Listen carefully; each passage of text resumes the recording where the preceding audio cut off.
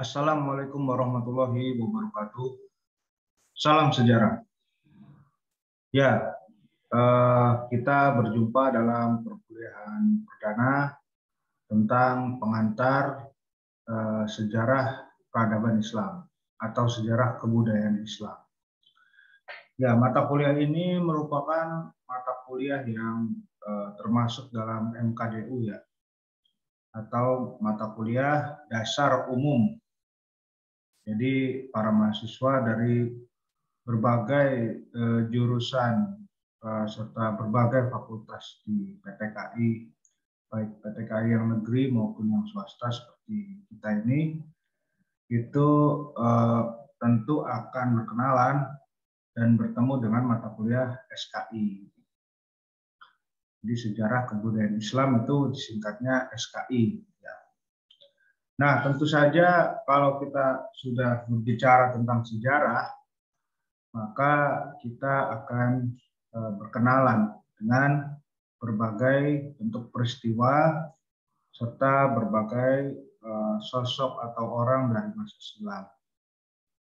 Namun sebelum eh, beranjak jauh, saya akan memperkenalkan siapa diri saya terlebih dahulu. Nama saya Johan Wahyudi. Eh, pendidikan saya eh, sekarang sedang menempuh eh, strata 3 di jurusan Islam Nusantara ya. Yang spesifikasinya adalah sejarah peradaban Islam. Jurusan ini ada di bawah naungan Fakultas Islam Nusantara di Universitas Nahdlatul Ulama Indonesia. Kemudian eh, strata dua saya saya selesaikan di Magister Sejarah Kebudayaan Islam di Fakultas Adab dan Humaniora di UIN Syarif Hidayatullah Jakarta. Eh, strata satu saya saya selesaikan di alma mater saya UIN Syarif Hidayatullah Jakarta jurusan sejarah peradaban Islam. Dan eh, di tempat saya itu di UIN eh, saya mengambil spesifikasi eh, sejarah Islam masa Timur Tengah. Jadi tentu saja beberapa perbincangan yang akan kita jumpai eh, dalam pertemuan-pertemuan ke depan ini sesuai dengan spesifikasi saya. Nah, itu latar belakang akademik saya. Terus kalau bicara karya ataupun hasil riset ilmiah yang eh, saya sedang lakukan, ya saya berbicara pada Anda ini dari salah satu hotel di Jambi ya. Karena saya sedang dalam eh, program riset untuk memetakan sejarah di Palembang Jambi dan Pekanbaru, terutama di periode eh, pra-kesultanan. Jadi sekitar abad ke-13 sampai abad ke-16. Sebelum Kesultanan Jambi atau Kesultanan Palembang dan Kesultanan-Kesultanan di Riau ya, Kesultanan Siak atau Kesultanan Riau Lingga itu terbentuk. Jadi saya eh, ber, apa, sedang menekuni kajian tentang masa transmisi dari masyarakat Hindu-Buddha ke masyarakat Islam. Ya, tentu saja kita tidak bicara tentang itu. Nah, mari kita uh, masuk dalam materi kita kali ini.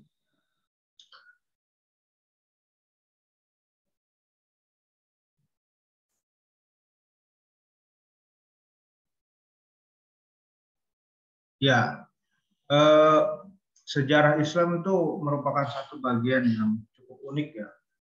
Karena di dalam uh, sejarah tersebut tersemat beberapa peristiwa ataupun episode penting di mana uh, kita sebagai umat muslim dapat meneladani kisah-kisah dari masa silam.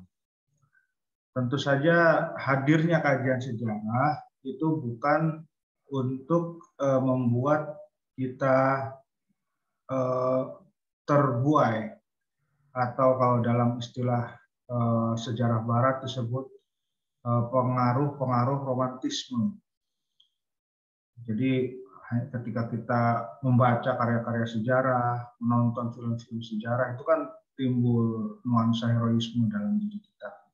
Nah, bukan hanya sekedar itu. Jadi mengkaji sejarah itu kita eh, seakan dibabarkan pada kejadian-kejadian masa silam yang di dalamnya tentu saja yang paling penting adalah agar kita dapat mengambil ibroh darinya. Jadi ada pelajaran-pelajaran yang bisa kita tuai dari umat-umat terdahulu untuk kemudian kita jadikan semacam eh, tadbir, semacam pengajaran bagi kehidupan kita kelak. Sehingga eh, ketika kita melangkah di masa depan itu kita tidak salah langkah karena belajar dari nenek-nenek moyang kita di masa-masa sebelumnya. Nah, saya kira itu fungsi dari sejarah ya.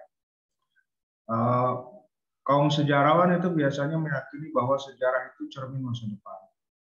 Jadi ketika kita uh, mengkaji sejarah itu tentu kita sedang melihat masa depan melalui perspektif masa lalu. Jadi ini yang unik, kita membaca masa lalu tapi sesungguhnya kita bisa uh, mendeteksi masa depan. Nah itu berkaitan tentang fungsi sejarah juga. Nah, kalau dalam perspektif sejarah Islam tentu saja fungsi utamanya adalah merekatkan persatuan umat dalam perspektif kesejarahan. Ya, kita akan melihat bagaimana sejarah Nabi itu berlangsung, bagaimana kesulitan Nabi Muhammad dalam membentuk uh, umatan wasato, jadi umat yang benar-benar terbentuk secara alamiah, menyatakan Islam dan umat yang senantiasa menyebarkan paham-paham keagamaan yang sifatnya moderat. Nah, itu saya kira yang penting ya. Jadi Nabi Muhammad saya kira sampai detik ini itu adalah teladan penting ketika kita ingin mencontoh seorang figur pemimpin yang menghargai arti keragaman, yang menghargai arti penting pengorbanan seseorang. Nah, mungkin di antara kita sudah akrab ya mendengar kisah-kisah sahabat Nabi yang memang ketika masuk eh, dalam Islam itu kan didahului pengorbanan yang besar. Ada sahabat Nabi yang disiksa seperti Bilal bin Robah ya, atau sahabat Nabi yang eh, apa namanya mengalami deras siksa dari para apa namanya majikannya ataupun eh, sahabat Nabi memang yang masuk dalam Islam dalam suasana yang tentu saja gegap gempita ya artinya dia masuk Islam itu selain karena faktor hidayah juga karena ada dorongan hati untuk berkorban pada uh, agama yang baru. Nah, itu itu beberapa uh, bahasan yang mungkin kita akan jumpai dalam uh, sejarah Islam. Nah, tentu sebelum kita beranjak lebih jauh, Anda akan saya antar pada pembahasan mendasar tentang pengertian dari mata kuliah kita. Sejarah, kebudayaan, dan Islam. Nah, sebagaimana sudah saya singgung sebelumnya, yang dikatakan sejarah tentu saja adalah peristiwa yang terjadi di masa silam. Nah, ini ukuran peristiwa itu disebut sejarah itu sangat beragam. Ada yang mengatakan eh, peristiwa yang sudah berlangsung eh, satu detik sebelumnya itu sudah termasuk sejarah.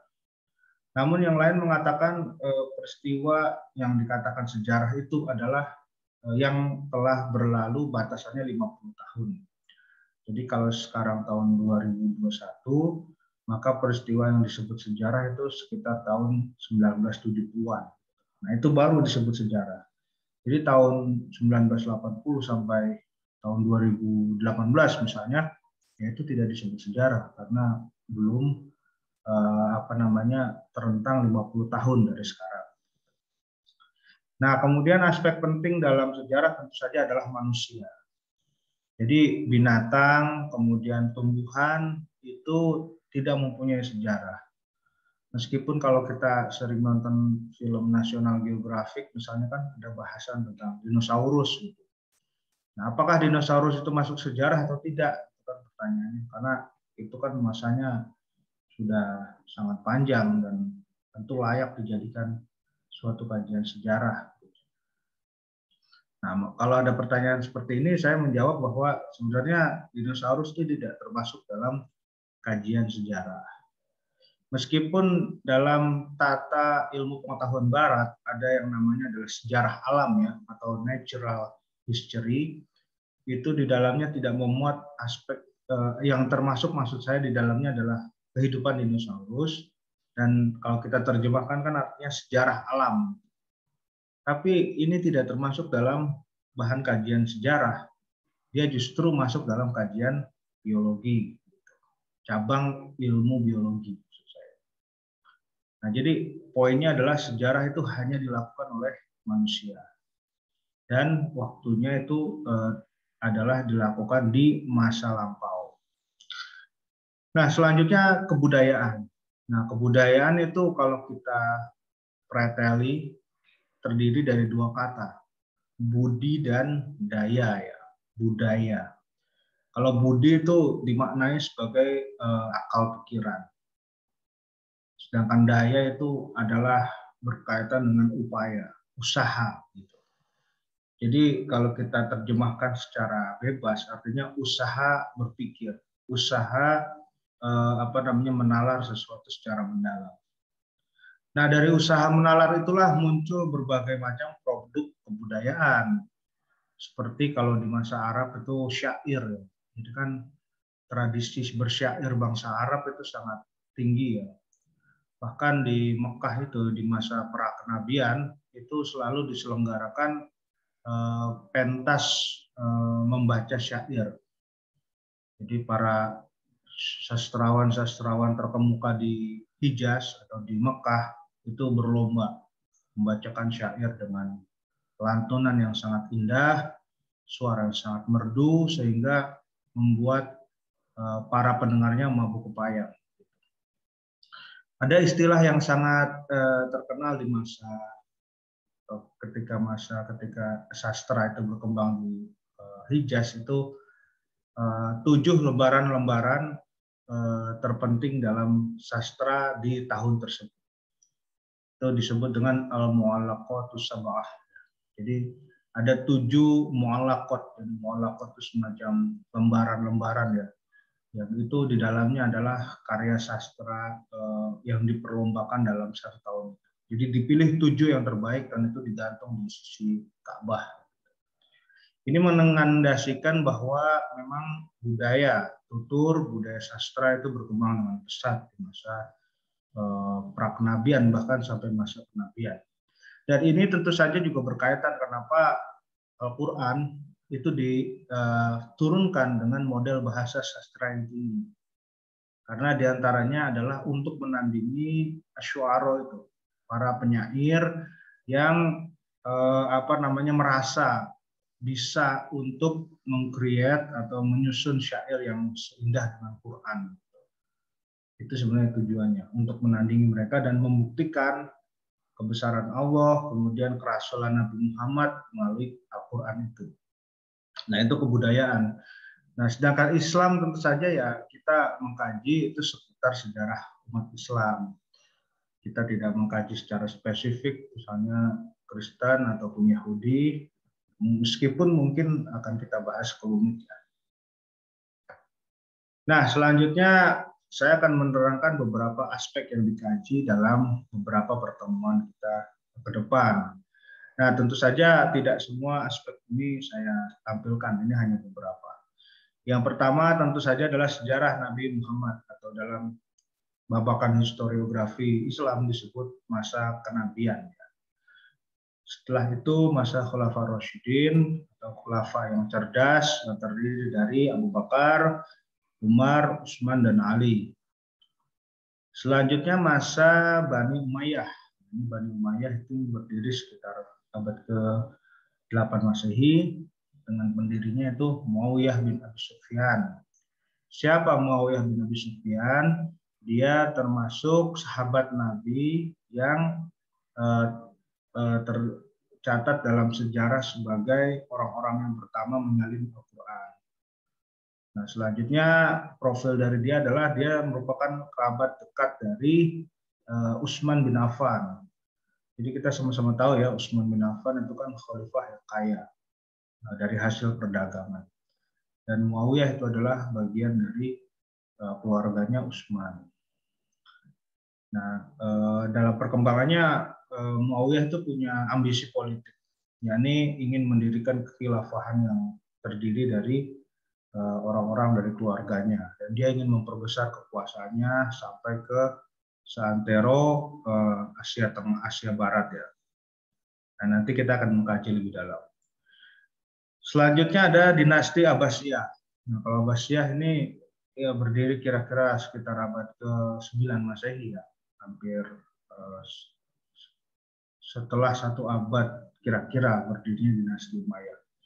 Ya Abbasiyah ini saya kira menjadi salah satu kekuatan penting dalam sejarah umat Islam karena di masa Abbasiyah lah ilmu pengetahuan Islam berkembang dengan sangat besar kita mengenal sosok uh, apa namanya Jabir bin Hayyan, kemudian kita mengenal sosok uh, Ibnu Sina, Ibnu Rus, kemudian sampai dengan uh, apa namanya Abbas bin Farnas atau tokoh-tokoh penting lainnya ya di sekitar tasawuf misalnya Syekh Qadir Jilani, Syekh Hasan Al-Sasihili, Eh, kemudian Al Ghazali itu hidup kira-kira di masa Abbasiyah. Jadi Abbasiyah ini bisa kita tandai sebagai masa di mana ilmu pengetahuan Islam berkembang dengan sangat besar.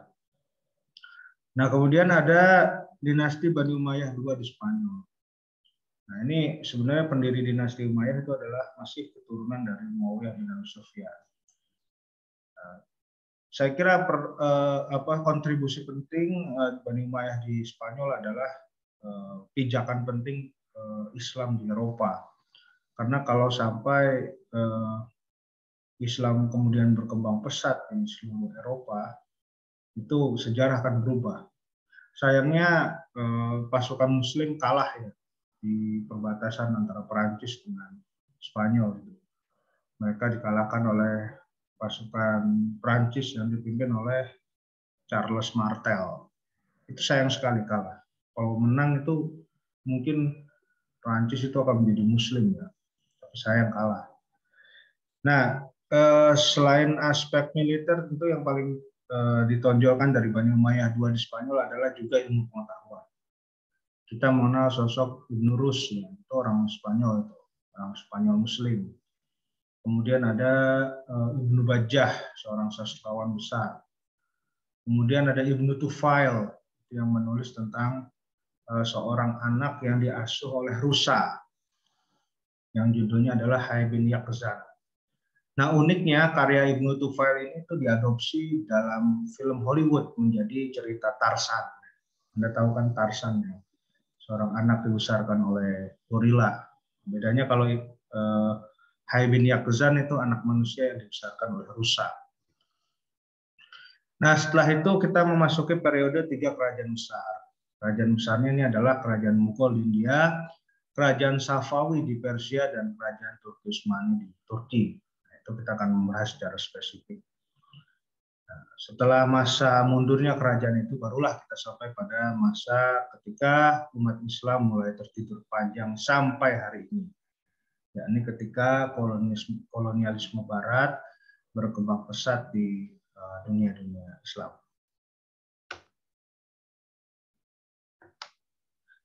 Ya, di halaman selanjutnya saya sarankan Anda membeli ya buku Badriyatim yang judulnya adalah uh, Sejarah Peradaban Islam. Ini buku pegangan wajib, saya kira Anda perlu memiliki ini untuk menambah khazanah belajar Anda. Jadi mungkin dalam beberapa pertemuan saya akan membuat video seperti ini, tapi saya sarankan Anda untuk membaca lebih dalam eh, dan memiliki buku ini. Supaya apa? Supaya Anda lebih mengenal lagi sejarah Islam, tentu saja. Yang penting adalah yang tentu saja penting adalah Anda bisa uh, uh, mematchingkan pemahaman dari membaca mandiri dengan uraian dari apa yang sudah saya katakan. Baik, saya senantiasa menunggu uh, komentar Anda di kolom komentar. Jadi kalau ada yang ingin Anda tanyakan seputar perkuliahan perdana kita ini, silakan post di kolom komentar. Saya kira itu yang bisa saya sampaikan pada perkuliahan perdana kita ini. Semoga Anda semua selalu dalam keadaan sehat walafiat, baik eh, menjalani segala aktivitas dan tentu saja ada hikmah yang Anda bisa petik dari perkuliahan kita hari ini. Akhirul kalam, Assalamualaikum warahmatullahi wabarakatuh, dan salam sejarah.